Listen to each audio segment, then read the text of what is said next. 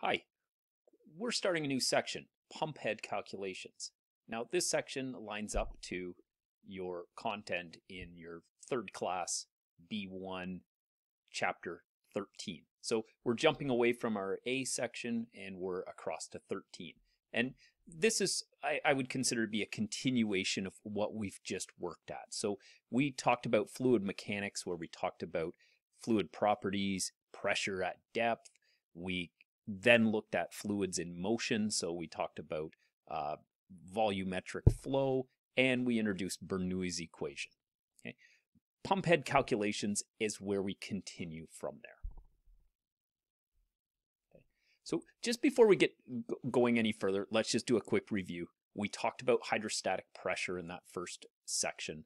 And what we saw was that the hydrostatic pressure was really created by the weight of all of the fluid pressing down onto something. So we have this pressure that is always acting at depth within a fluid. And we saw we had an equation for that. So rho GH uh, was pressure. So rho being the density, G being the gravity, and H being the depth of the fluid. So that was our equation that we used to describe pressure at depth. And we saw that the deeper we went into a fluid, the higher the pressure. Okay, so we had a few ways that we were calculating density in this course.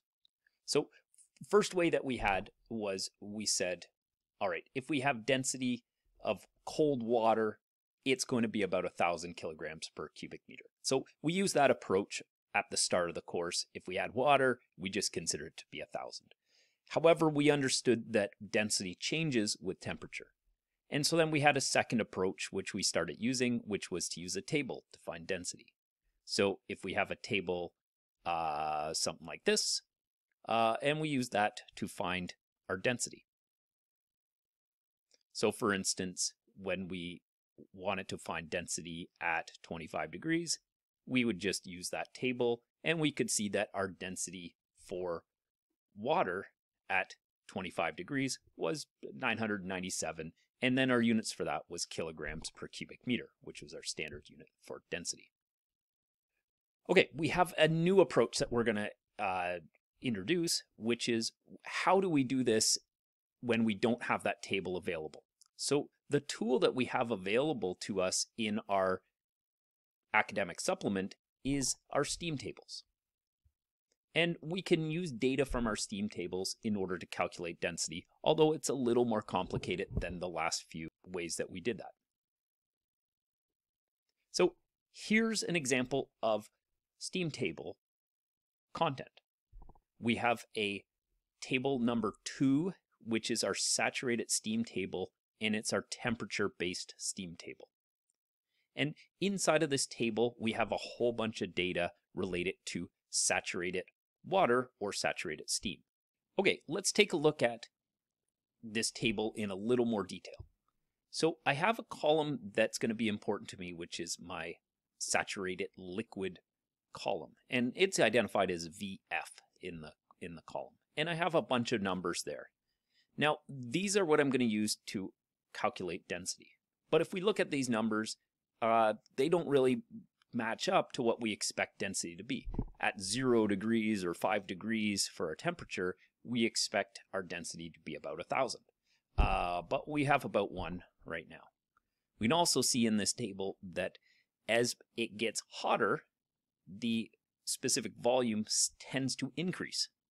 Um, and we generally expect our density to go down. So th that something's not quite right with these numbers as they're presented. So we have to be careful with what we see in the table.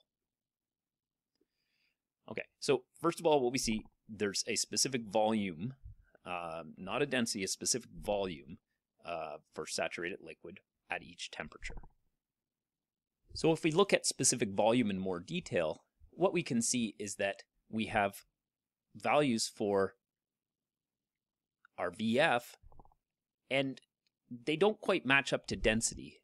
Um, in fact, they're the inverse. So if I wanted to find density, what I do is I would take 1 and then divide it by the VF values. So we'll do that in just a second. before I move off, just one other thing to note on this table.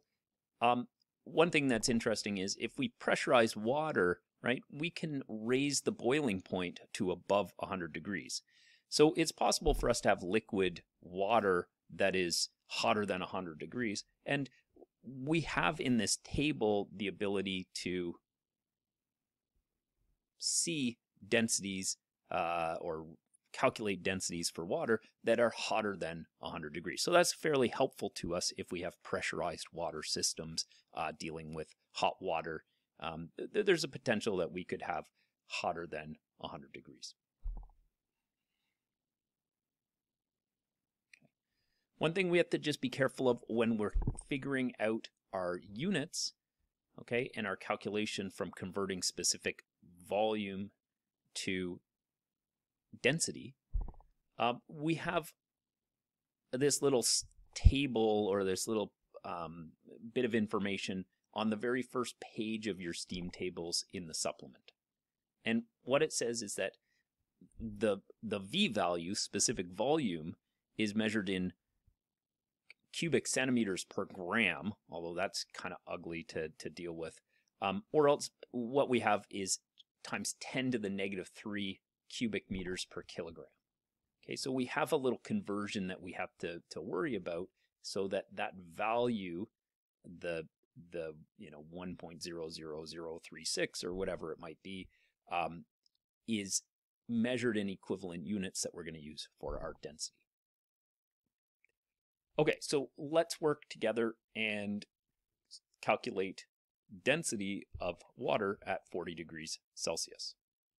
Okay, so first thing I have is I've got my property tables and I have my specific volume. And if I want to find at 40 degrees Celsius, uh, I'm going to scan across my, my property tables and I'm going to be able to get a value here for my specific volume. Okay, I want to be careful that I've got the saturated liquid, all right, not the saturated vapor. So I have my saturated liquid and um, I got to figure out what my density is. Now, we know that the, the density of water is roughly a thousand, and it's going to be maybe a little bit less as I get hotter. So that gives me at least a ballpark so that I know I'm on track with my answer. So first thing I'm going to do is just get my units correct. So my VF is equal to 1.0078. Now that would be grams per or cubic centimeters per gram. So, uh, but I'm going to use it with the form where they say times 10 to the negative 3 cubic meters per kilogram. Okay, so I could convert that so I could multiply it by the 10 to the negative 3 and I get like 0.00, uh, you know, etc. Um, as my value for VF, or else I could just leave it in the scientific notation form. Um, I'm going to leave it in the scientific notation form. Um, so I know that my density is equal to 1 over VF. So 1 over 1.0078 times 10 to the negative 3, and units wise, cubic meters per kilogram.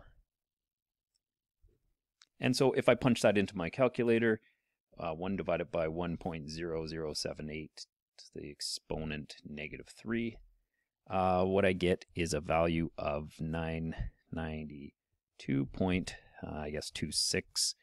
And uh, units on the bottom. So meters cubed is going to stay on the bottom, kilograms going to come up to the top, and I've got kilograms per cubic meter. Okay, it it makes sense to me. I'm just a little bit less than a thousand, so I think that I'm in the right ballpark for that value for my density. And, and so that's how we can use the steam tables in order to find density um, if we're asked for a question like this on a 3A1 uh, or sorry, 3B1 uh, type exam where the water temperature makes a difference and you need to know your density. Okay, so a little more complicated than what we did at the early stages of this course, but uh, we just have sort of been building our way to that point. Okay, so one other uh, little bit that we've sort of already covered before, but we'll just expand on a little bit, is a term called equivalent head. So when we talk about a head, what we talk about is really kind of a, a measure of energy that's in a fluid, um, just not expressed as energy, but as an equivalent height that the fluid column may go to. Um, and we've seen that in action in the lab a little bit, so we can see sort of the relationship between the height of a fluid column and the energy in that column. So how, how we get equivalent head? Well, we have our equation that we have been using up to this point pressure is equal to rho gh, so that's our pressure at depth equation. And if we rearrange that, what we get is h, our head, is equal to pressure divided by the density and divided by gravity. Okay, and we've we've used this up up to this point, so this shouldn't be something that's completely new. Okay, let's do an example problem using equivalent head. The pressure at the discharge of a pump is 300 kPa. The pump is just discharging water at 50 degrees Celsius. What is the equivalent head in meters? Okay, so if we're going to solve for our equivalent head, um, head is going to be pressure divided by rho g. Um, so we're going to need to know a couple things. First of all, we're going to need to know our pressure. And from the problem, we have a pressure equal to 300 kPa. Um, we got to remember, like we did back in the previous section, we got to be very careful with our units. So in this case, we don't want units of kPa. We want to put those into our base units, 300,000 pascals.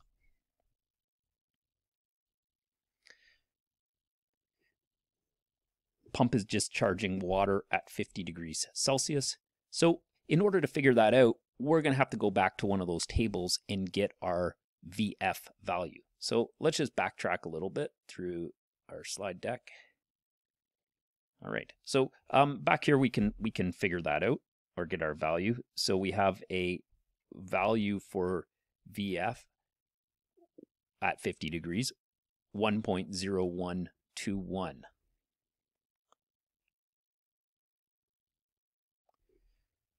So VF is equal to 1.0121. Um, and then we always have to remember times 10 to the negative 3. It's not listed on that sheet or the table anywhere other than the very first page. Um, and that is in meters cubed per kilogram. So my density is equal to 1 over VF. So 1 divided by 1.0121 to the exponent negative 3 uh, gives me a density of 988.0, um, and that is in kilograms per cubic meter.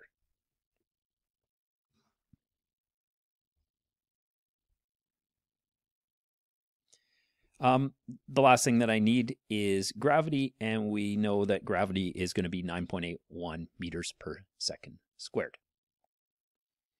Okay, so I can throw all that into my equation for my head. So I have 300,000 pascals